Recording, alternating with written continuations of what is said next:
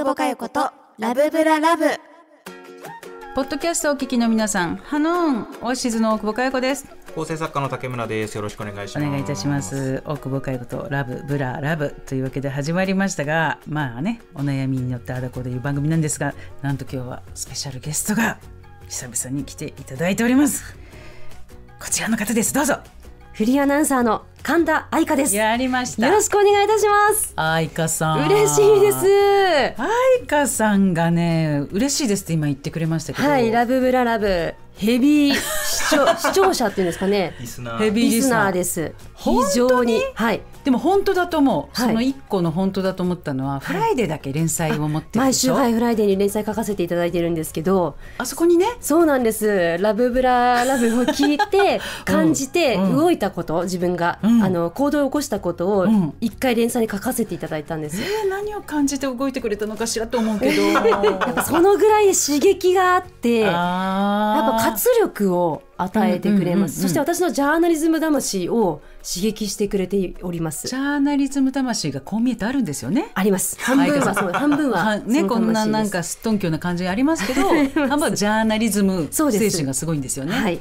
そうだから私もこの番組やってから世の中ってこんだけ人は恋愛をし、不倫をし、はい。セフレを持ち、はい。マッチングアプリでモヤモヤしてるんだと思ったら、もっと自分動かなきゃといかね。やそうなんですよ本当に。っていう意味では分かります。わはい、なんか自分がねその不倫に踏み込むとかではないんですけど、うん。みんなこんなに自分の気持ちに素直で生きてるんだったら、ね。自分もちゃんと自分の気持ちに従わなきゃって、うん。元気をもらえるんですよね。ああそういう聞き方じゃみんなしてくれてるのかしらだね。と思います。友達にも全部聞かせてますからこれ、変な布教布教布教活動してくれてるの？でも友達と会うと、うん。やっぱこの会話からスタートします、最近のラブブララブ聞いたっつって、はい。マネージャーもそうです今えー、すごいよね、でも確かにあの40アラフォーアラフィフだね、はい。のなんか若干顔色がくすみ出した女性がすごい聞いてる。そうですよね。うん、でちょっとくすみを取りたいのか、はい。なんかやっぱ刺激をね外から入れたいんだなって。人様のねそういう動きがやっぱ知りたいんですよ。なかなか会話にできないから。わかる。はい、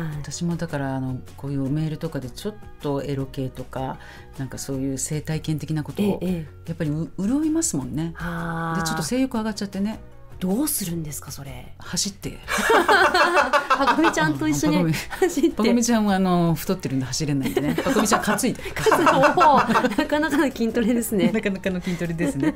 そうね。なんで今日はそんなかんなであの、一緒に、はい。お悩みとかはどうですか？普段あの乗るタイプなのかあの人に聞いてもらうタイプなのかのなんか「愛花さん」っつってこう来る人が来るタイプなのか昔はあの、来るタイプだったんです聞いがてくださいよって。はい友達とかからでうん結構あの理系能なんですよ。ああはいはい、はい、それで論理的にうん。その表とか書いてってうん。解決しようとしてしまうタイプでそうするとやっぱ面倒くさいみたいでね。2回目の相談はないです、そういうことじゃないんだよって言うよね。そうみたいです、うん同意してほしい。そう。でも私は友達としてちゃんと解決しなきゃと思って、うん。なんか枝分かれグラフみたいなの書いていらないよね。いやわかるこのパターンはこうなってとか。はい、なんでじゃあその時はこうなるじゃあこっちだねうんみたいなデータがこうだよねってはい言っちゃうやつね。いそうなんでらないねす。そうみたいなんですよね包み込めばいいの？よくわかんなくても包み込めばね。それを5年ぐらい前にやっと気づきました気づきました？はいああじゃあもう今日は包み込んでいただいて。そうですねはいいけますか？お願いします、じゃあいきますかね。はいお悩みいっぱい来てますんでというわけで今週は神田愛花さんとお悩み乗っていきます。大久保佳代子とラブブララブ最後までお付き合いください。大久保佳代子とラブブララブ大久保佳代子とラブブララブ。それなんですか？あのクッションジャンクションみたいなやつ。はい。えーというわけで皆さんからお悩み届いておりますんで、はい。えー無責任にガンガン乗っていきたいと思います参加がさせていただきます。まずは、はい。えーラブブララブといえば、まあ、浮気だったり不倫だったり。そうですね。えーもうすごく盛んでございます。が、はい。まずラジオネーム匿名希望さん、はい。40代半ばの女性でございます。同じぐらいです。そうですね、えー10年ほど友人としてお付き合いしていた男性バツイチ独身と先日食事に行きました、しばらくぶりに会ったのですが以前より痩せて少しかっこよく見えました。彼は長年お付き合いしていた彼女とは別れており私も数年前に彼氏と別れております。いいですね、はい。普通に食事に行きバーへ飲みに勢いが増ったところで静かなところへ行こうと言われタクシーに乗車。そしてたどり着いたのはホテルでした。え？っと戸惑いましたがそこは郊外であまり人気もなく帰るに帰れずいたしてしまいました。上品な表現。いたしてしまいました、はい。私はしばらくセックスをしていなかったし、はい。ここでセックス言ってます。言っちゃってますね。なんでだろう。って急に。え言ってます。今後もうこんな機会がないのかな。このまま年だけ取っていくのかなと寂しく過ごしておりました、うんうん。そんな時にふと誘われまだ女として見られているんだという嬉しさが正直ありました。わ、かりますよ。彼からは本当はずっとこうしたかったと言われましたが気がかりなのは今までの友人関係が崩れてしまうのではないか。セフレになってしまわないかというところです。また会いたいと言われ彼からの食事の誘いを受けております、うん。セックスは嫌いではないし女としての喜びもたまには欲しい。だから次回も誘われたら行ってしまうと思います、うん。こんな考えだと本命でも友人でもなくセフレとして見られても仕方がないのでしょうか、とという、うん。えー長年の男友達だよね。だった人と、まあ、久々に会ってバー行ってお酒入ってホテル行ってやっちゃったっていう流れでございますけどね。はあだこれそもそも友人だったのかなっていうのはちょっと私思っちゃいおますけどね。どういうことでしょうか？なんかまあその男性、異性との間でうん。友人関係が成り立つかどうかっていう話ってまあ昔から言われている大好き、うん大好でも女性側はあるかもですけど、男性側はうん。やっぱりその、まあ、女性として魅力があるうん。と感じてる子じゃないと1対1で合わないんじゃないかって自分の中で思っていきて、うん。会ってて友達なんだけども、うんまあ、恋愛始まってもいいなっていう最初から思っててくれたんじゃないかなって思っちゃうんですよ男性側がこの。10年ほど友人関係って言ってますが、はいでもこれが例えば本当になんか10年がまあ職場なのか何かの集まり、コミュニティなのか分かんないけどその中の本当にこうまあメインの先視界にはいて、まあ、ある程度喋るけれどもみたいな友達距離感もなきにしもあらずだよね。そんなあの爽やかな薄い感じの友達なんですかね。どうでしょうまあだだからそんなんが久しぶりにじゃあそうね2人で飲むっていうことはそれなりにその10年の中である程度近かったのかなじゃあ。かなって推察してます。うんってことはだからこの男の人はもう10年ぶりに会った時もその人に女の子に、えー匿名希望さんか、はいに対してそういう気持ち、あのそうしたいってはっきりとは思ってないですけど、うん女性として魅力があるうんっていうのはもう持ってたんじゃないかなっていうのは思うんですよね。じゃないと1対1で合う合うんです男性って。まあそうです。僕も気がある程度ないと1対1で誘いはしないですね、うん。なんかそれがないと。まあ、だからそこは多分そうなんだよね。でその後が単純に、えーその10年間が分かんないけどあなんかやれそうだなとかはい。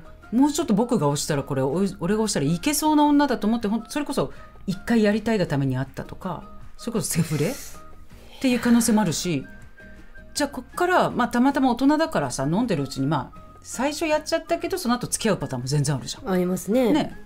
だからそのパターンかもしれないしね。本命になれるパターンかもしれななんいしかあの時間を経ていく中で、うん。その友達なんだけども友達以上うん、自分のタイミングもあるじゃないですか。相手も、うんあのフリーだしうん。今自分もフリーだし、でこのタイミングでようやくこの人となんか向き合う時が来たなっていう、なんか波長が微炭鉱ってなっちゃう可能性ありますよね。最高じゃんそしたら。あのだ男性側はねそう思ってるんじゃないか、だから私はこのセフレとしてはセフレですけど、うん。セフレが解消されても友達としていられるんじゃないかなって思っちゃうんですよねこういう関係って。一回セフレに入りますけどセフレ経験期間を経てまた友達、うん。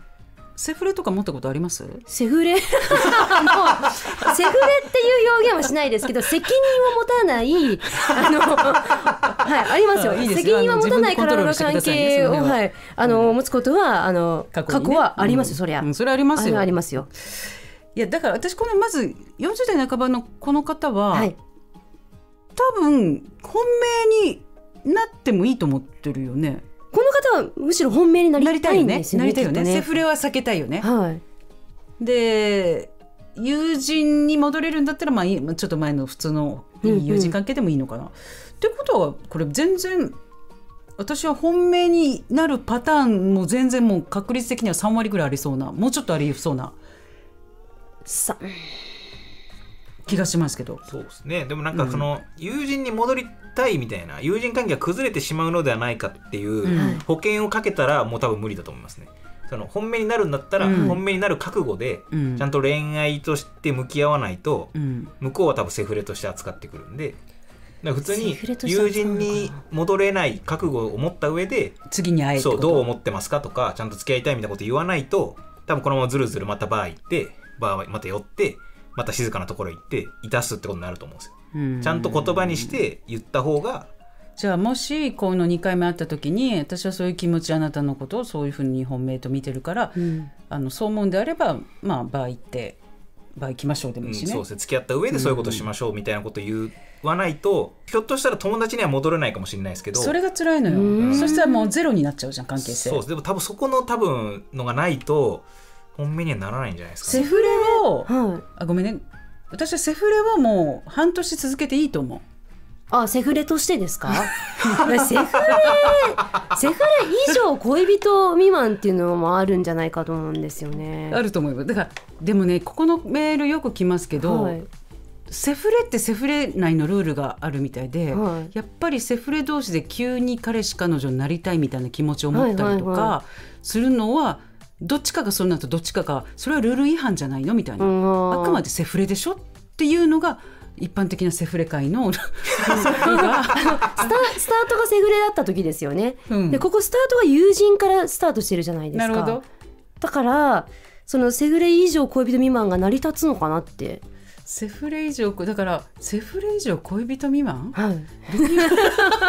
どういう付き合いだ食事も行くし、はい。なんとなくたわいもない会話もするし、はい。セックスはするけどただ付き合ってるかと言われると別にそこの責任そんはない。っていうなさ、うん。アバウトなさもうぼんやりした関係性っていっぱいあるじゃん。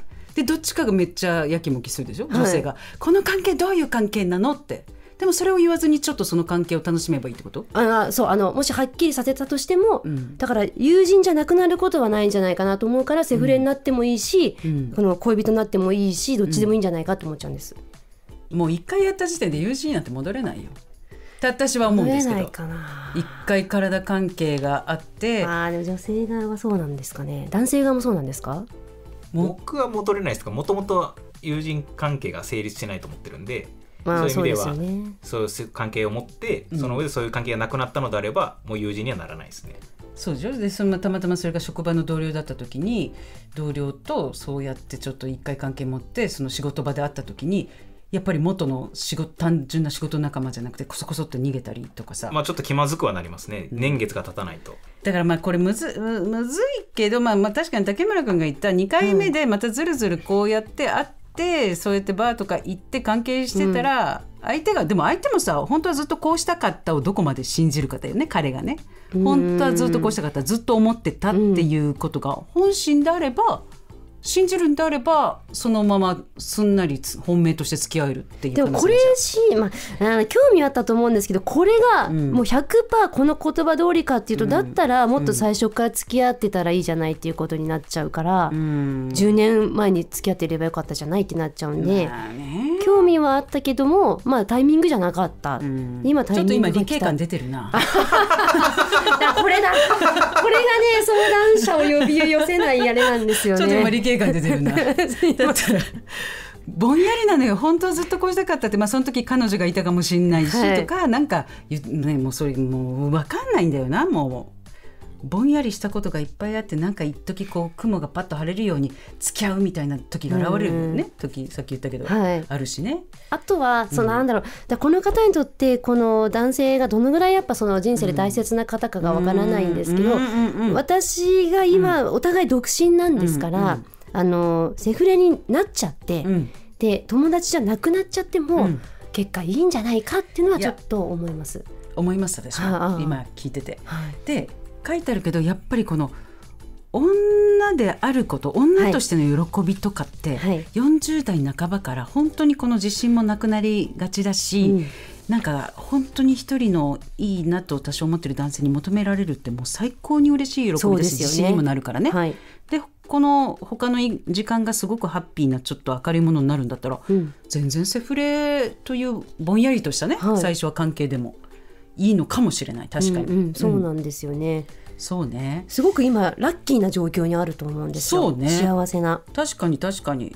うん。セフレ私人生私もセフレなんて持ったことないですけど。ないんですか？セフレでしょ？そのさっき言った責任を持たない、えーやらかしいたしならはい。ありますよ、ありますよね。うん。でも責任って何なの？後に付き合うとか付き合わないってことかな？あのそうあの会うための時間を取らなくていいってことですね。そうね、はい。でもその固定したセフレはやあっぱりですよね、うんないですよね。私も固定したセフレはないんですよ。だから生まれ変わったらやっぱりセフレを持つ人生っていいなってやっぱ思うのね。あ女性に生まれてってことですか？女性に生まれて、うん。やっぱせっかく女性に生まれたならそういうのを楽しむっていう関係性、うんうん。時間経験してみた。い、まあそうですよね。そのためにはなんか体磨きたいですよね。そうそうそうだねその自信がないですもんね。そうねそう。この方だからすごい幸せに見えます。確かにそう言われてみればこの文章からは別になんかかわいそうとか大変だねって感じはなくて「わいいじゃんいいじゃん」ってもう、ね、そう全部読み取れ責る、ね、任かもですけど、うんうんうん。一回セフレになっちゃってもいいのかな。いいと思います、えー解決しました。解決するんですよね意外とね。じゃあねそんなセフレの話ばっかしてんじゃないよ本当に。今日私の T シャツ。えセフレって書いてあるの？違う。バナナなんですよ。うんうん。ハヌーンだからです。え旦那がバナナマンだからじゃなくてハノンの方のバナナ。そうです。ハノンの意味でバナナを着てきてくれたんですか？はい。あバナナマンなのかなと思って着てきました。あありがとうね。ちょっとねちょっと黒ずんだ感じがよろしいです。いいですよね。素晴らしいバナナありがとうございます、えーちょっと人生のねお悩みもあるんですよ、はい。えーラジオネームロミコさん女性。はい。長い付き合いの友達の件でご相談です。まあ女友達ですね、はい。きっとね。同じ趣味を通じて15年ぐらい前に知り合い何度もコンサートや旅行に行く中の3つ上の同性のこと、おはい。特に気になるところはなくずっと付き合えていたのですが食事の時に箸の使い方が悪いなとかー。待ち合わせがいつもギリギリだなとかお金のことに関してもその日の公演が終わっているのに生産していなくて、うん。別れた後に LINE で聞いたら次のなんかで生産しようって言ってたからみたいにお金についてもルーズだなとか些細なことが気に障るようになりました。待ち合わせもそんなに早くつかなくても良いと思ったのかもう少し遅くても私は大丈夫だよ。大丈夫じゃなくてあなたが遅くしたいと言えばと思っちゃったりね、なるほどなどのように。決定的に嫌なところはないものの細かいところが気になり一人心の中で突っ込むことが増えました、はいはい。なるほどね、えー誕生日プレゼントについても私があげたものを使ったのを見たことないし考えるのもそろそろ面倒だなと思えてしまったり、はい。ここに来て急に何もかもが気になります、うん。趣味を通じてなので無理に顔を合わせる必要はないので日常的には気は楽ですが私の心が狭いだけなのでしょうか。うん。友達ね女友達ねこれでも私経験ありますね、あなんか一つすごく仲良かったんですけど、うんうん一つなんか嫌なことがあると、うん結構それが尾を引いて、うん。今まで全然気にならなかったことが全部細かく嫌になってしまってうんでだんだん会うと、ん。会うんですよ。好きだから、うん本当は、うんでも会うとなんか嫌な気持ちになって帰ってきちゃって、うん。その繰り返しだから会うのをやめたっていうのがありましたね、それは、えー距離を取ったというよりもちょっともう断絶というか合わない。え距離を取りました。はっきりとは言わないで、うん。あのお約束の連絡が来ても、うん。ちょっと私その日スケジュール合わないって言って、うん。自分の中でその自分のせいだって思ったんで、うん。その彼女のこと急に彼女は変わ変わらないんですよ。こなるほど。っちが変わっちゃったのかなと思ってあこーっちがまた変わるまでうん。時間を空けようと思ったことはあったんですよね。でそれは結局愛花さんが多少変わったりしてもう一回再開してえ関係が戻った。最近再開し始めましてあー。あのなんか受け入れられるといううんかうん。もしかしたらあちらも変わったかもなんですけど、うんうんなんかうまくまた回り始めたっていうのがありましたね。なんかでも、まあ、女性特有なのかそうじゃないか分かんないけど女の人ってその場その場のなんか環境だったりステージでやっぱりちょっと変わお互いね変わったというか、うん優先順位がその人が仕事家庭なんかいろいろあった時にはい、変わるからあれ前こんな感じじゃなかったのになんか違うなっていうのはあるよね絶対ありますよね。あるでそれうんがなんか自分のせいなのかもしれないって思っちゃうんですよね。そうで私、まあ、自分のせいって思える愛花さんはまだあれだけど私はそうやってなんか仲いい友達に対して今のなんかすごく気になる嫌だなって思った時にはい、なんで私がこんな嫌だなっていうこの負の感情を自分で持つようにさせられるのはお前のせいだろってあなっちゃうんですか？私がこんな罪悪感を持つのははお前のせいだろって思うタイプなのよ。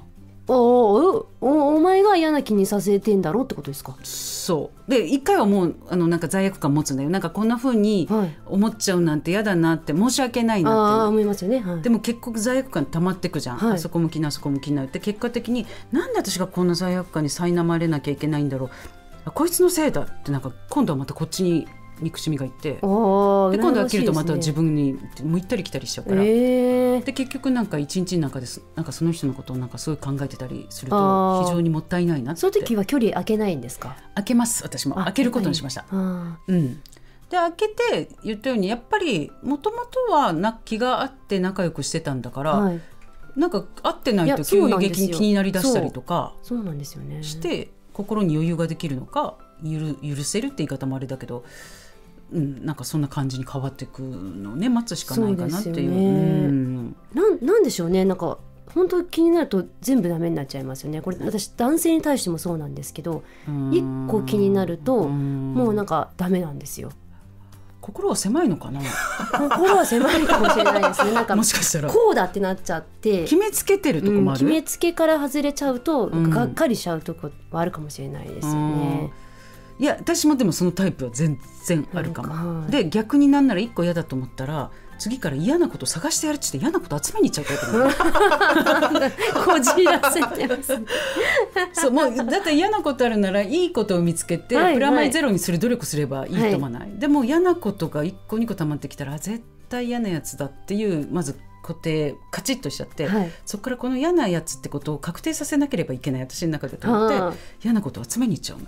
しまれるでしょ疲れちゃいますよね。そんな自分がまた嫌になっちゃったりして。そうそんな自分がまた嫌になっちゃうその通りよね。うんだからお友達はもういいわとかなっちゃいうますね。人もうずっと一人そうですねも一人が楽になっちゃう犬犬しかそもうなんですよ。いやほんとこのだから自分にまず余裕を持たないとダメだなとか、はい。でも性格って変わんないなってもどっかで諦めてない、はいはい。なんかねあの母見てるとそう思いますよね。うん。性格ってやっぱ変わんないんだなずっとって思うんで、はい。あ母そうなの？母がそうですね。まあそうね7080になってもっていいね、はい、ん。もうだから昔から母のこの部分嫌だなと思ってるところって30年経った今でも変わらないし、うんきっとその娘もそうなんだろうしって思うと、うんみんな変わんないのかなと思っちゃうんです。うんみんな変わんないならもうそしたら自分が距離を置いたり近づいたりで調整していくしかない。女性はい。ってことね。その方が平和かなと思って、いやちょっと解決策はそれしかないね。本当距離を取ったり、うんうん。でまた自分に余裕ができたりなんか環境変わってまた近づいてみたりはいっていう繰り返し、ね。心が狭いわけじゃないってことはあの思ってほしいです。ロミコさんに。ね。みんなあるんで。みんなそう。みんなねある程度性格悪いって言い方あれだけどしょうがないねこれはね。持ってます持ってますそういう部分は。よかった。なんかさ今いい人じゃなきゃいけないとかさ、はいなんかみんなに優しくなきゃいけないとかみんなに平等じゃなきゃいけないとかさなんかそういう方がいいねって当たり前だけど言われるじゃない？今のご時世ですよね。そうそう。あいいですね。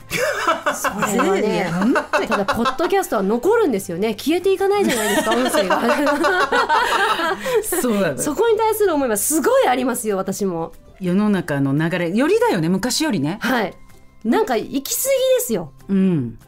それででも分かんないじゃん。人なんてその何？人か人に見せてる部分って私よく言うんだけどさ。はい。8割見せてる人もいるし2割しか見せてない人もいるし、はい。でその2割にいい人を集結させてこう表に出すことなんてさ、はい。できちゃうわけよ。人なんてね騙せるわけですよ。はい。特にテレビとかそうですよね。特にテレビ、はい。そう、もうテレビのこと言ってますよ私は、はい。テレビに出てる人たちのこと言ってますけど じゃあそんなにテレビに出てる人がテレビに出てるその瞬間がその人の100%の人柄じゃないし、そう。やっぱり人間ですからそう。れは暗い部分もあるし腹立つ部分もあるし同じなんですよっていうことを、うん。そう。あの分かっていただきたい。ね。はい、だから本当に憎まれ口叩いてたりなんか嫌なこと言ってる人の裏が実はすごく繊細で優しい人の場合もあるし、はいいいことばっか言ってる人の裏が本当もうすごい人によって態度変えてたりね,、はい。ね。そうなんですよ。声を大にして言いた。いそうなんです。例えば誰ですか？本当に。いやいやいや。いやえ例えば誰？あでも本当自分ですよね自分。あ自分。はい、自分がその、なんかやっぱりお昼の番組やってますとあやってますね。やっぱ爽やかじゃないですかお昼の番組やっぱ爽やかよ。すごく爽やか見えてるよ。でしょ？でもたまにやっぱ生放送なので、うん。素が出る時あるんですよ。出ちゃう、うん。すごくその性格悪いところ、そうすると急に、あの SNS とかに書かれるんですよ、うん。こんなや嫌なやつなのかみたいな。すごいね。見てる方もすごいキャッチするね。そうなんです。チラッと出したぐらいでしょ？そうです。全部全部エゴサーチするので、うん。私はもともうん。とそういう面も持ったままはい。キャスティングされてますから、あのそうですよ。別に急に悪いやつになったわけじゃないんですよ、ね。持ち合わせてるんです。も持ってると思いますよ、はい。まあししたたかなのかなんかなんて言って表現していいか分かんないけど、い、やちゃんといろんなん角度でいろんな人も見てるからさ、はい、それは人のこと嫌いにもなりますしそうそうそう。うん。喧嘩だってしますしね、そうね。そうですそうです、ん。だからいいと思いますよ、ねでも世の中本当見逃してくれないよねだからそうねなんですよ。ちょっとしたことをね、もう同じじゃんと思うんですよ、みんなうん、みんな同じじゃん、うん、まあねそう。か そこ違ったんですね。みんな同じじゃんまあね。そこはうーんトウモロコシさん24歳女性、えー同い年の彼氏ありさん。はい運命の人は結局いると思いますか？こんなんよく言ってたな若い時ね。私は今24歳で同い年の彼氏がいます。学生の頃からの付き合い、2回ほど別れも経験しましたが復縁し今では付き合って4年ほど、うん。お互い過去にこんなに長いこと付き合った経験などありませんでした。喧嘩をしてもたくさん話し合って仲直りできる関係で私は彼を運命の人だと思っています、うんうん。ただ最近この気持ちが揺らいできています。なぜなら私が彼を運命の人だと思う理由は話し合える人だからです。つまりフィーリングや趣味容姿体の相性などなど人が恋に陥る感覚的な要素はたくさんあると思いますが関係性を築いていくのに大切なのはお互い納得のいくまでとことん話し合えることであり、うん。それができる相手を運命の人だと呼べると思うからです、うんうん。彼は夢追い人でフリーター自分のことを優先するタイプで同性結婚などはまだまだ先のことになりそうでなんだか悶々とする日々です。うーん。もういいんじゃない？24歳で4年付き合ってて。うんいっぱい話し合いができて、ね。でこれを運命の人だと思ってるんなら全然いいけど。思ってるけど、うん。まあいわゆる結婚みたいなものがだいぶ先になりそうだから。それで悶々としてんのか。それこの人を運命として進んでいった先にうん、幸せがないのではないかってことですよね多分。じゃあ運命じゃないかもねってことか。そうってことは運命じゃないのかもしれないみたいな。感覚そのフィーリングとかフィーリングっていうかこの人運命の人と思う良さたくさんあるけど幸せにするかななるかならないかでいうと運命の人じゃないかもみたいな感じです。運命の人って何ですか？え私はあのまずこのメールで、うん。と思ったのは、うん。怖い怖い。24歳検索してる。24歳という、まあ、あの私たちから見たらすごくお若い年ですよ。もう齢で20代はねこのぐらいの年齢ってその時お付き合いしてる人のことを運命の人と思いがちじゃないですか。まあそうね。なんか自分の過去うん。の経験からいくと。でその過去にこんな長いこと付き合った経験ありませんってありますけど、24歳だからまあそう当然そうだと思うんですよ。まあそうか4年まあ4 4年でもちゃんと付き合ってるよね結構長くね、うん。だからその運命の人ってあの思っちゃうのはすごいわかる。自分もそうだったんですけど、うんうんうん。でももうちょっと遊んでほしいと思っちゃいます私。ああもっとたくさんいろんな人を見て、うーん。そうね。どっちパターンもあるけどね、こうやって思い込んでさ、はい、結婚突入してさ死ぬまで一緒っていうパターンも悪くはない悪くはないですけど、うん。なんか勝手なイメージです。けどもし自分がですよ、自分がその24歳ぐらいにお付き合いしてた方と運命の人と思ってたので、うん。結婚してたら多分浮気してました。あ私は？はい。遊び足りなくって。あ 私はね、うん、何が場に そんな私も浮気してたと思うですよね、うん全然。20代なんて一番もう遊びたくていろんな人見てでい,、ろんなはい。痛い目にあって、でそれが30代でもあんまり学習せずまた痛いそ目にあって。う同じこと繰り返し40過てぎぐらいからやっぱり痛い目に遭うの嫌だなって やっと分かってね。で運命の人って大久保さんはどう考えてるんですか、いないと思います。え？運命の人なんてものは？海な運命の人なんていない。もうたまたまがあってこのたくさん人数地球上にいる中でたまたま奇跡的に会った人と魔法が関わり合って恋という。でそのあ魔法が解けないまま結婚しちゃってでそのうちに本当になんか情なりなんかでもうもうしがらみみたいになって、はい。ぐにゅぐにゅぐにゅって最後までいるから魔法がそこにあると思ってるんですか？子供？子供じゃない魔法にですかかけられるんですよ。魔法あですか？魔法をかけ合うっていう意味ではかけ合えた人は運命かもしれない。あーなんか急に深くなってきましたね よく考えると深くないからあんま考えないでくれる。あでも私はそれこそあの、夫と出会ったのは運命の人だと思ってて、うん。なんかそのなんでかというとこの方はその話し合える人うん。だから運命だっていうとこの定義があると思うんですよ、うんうんうん。でも私が今思う運命の人の定義は自分を犠牲にしてもいいと思う人です。わあでもそれ一番あのーわかる。素敵、うん。うん聞く、うん、ですよね。なんか仕事でもプライベートでも、じそれまではずっとなんか自分主体で、うん。あのまあ、対等みたいな、うん。自分も幸せにと思ってたんですけどでもその人のためになんか自分のしたいことができなかったりすることもそれはそれで幸せだなって思えてると運命かなって、うん。今はこの年齢だと思ってますね。いや素晴らしいですよ。その自分が主体で自分のためだけってよくマツコさんも言ってたかもしれないけど、はい、まあ、しんどいはしんどくない？それはそれで。疲れると思いますよね。なんか別に逃げじゃないけどこの人のためにっていうなんか一個理由なり、なんかこのよ寄り道じゃないけどなんかこっちにある方が多分人生もなんかすごいなんか。いやそれはね私は違うと思います。それはまた。え？ー、違った？えそれ逃げ逃げ道があった方が気が楽ってことですよね簡単に言うと。私すごい保険とかすぐかけちゃう いや違います。その人のために、その自分を犠牲にすることも結構労力がいるんですよ。そうねそうね、はい。私はごめん。私は今自分一人だからちょっとそういう方が楽なんじゃないかっていう逃げた考え方してあ そんなに落ち込まないでくださいよ。どっちもあの大変どっちも大変なんですけど。だ。ってそうなん。私も中でも別の人間で別の人間関係の中で生きてるから、はい。そういう感覚違いますもんね、はい。うんじゃあもう終わりです。あでも今日解決率高くないですか？解決率高い。さすがやっぱ、あの理系の人がポンと入ったからやっぱり何かこうちゃんと なんつうの答えをちょっとね導き出そうと出して。るそうとしちゃいますね、うん。私と竹村君だと別に。全然あの空欄で返しますから、うん空欄で。ねあれもいいですよね。ね。というわけではい。3通なんとか乗りましたんで、こんな感じでお悩み乗っていきますね。どんどん送ってください。朝まで。朝朝まで討論介護テレビ。あの普通に別にこの真空ジェシカのガクです。山口コンボイです。あー違います。ケビンスのボケじゃないから。川北ね。僕たちの番組「真空ジェシカのラジオ父ちゃん」はポッドキャストなど各音声配信サービスで毎週土曜夜7時に配信。川北この番組の魅力は、あごめんケビンスのボケじゃなかったわ俺。うん、分かってんだよそんなこと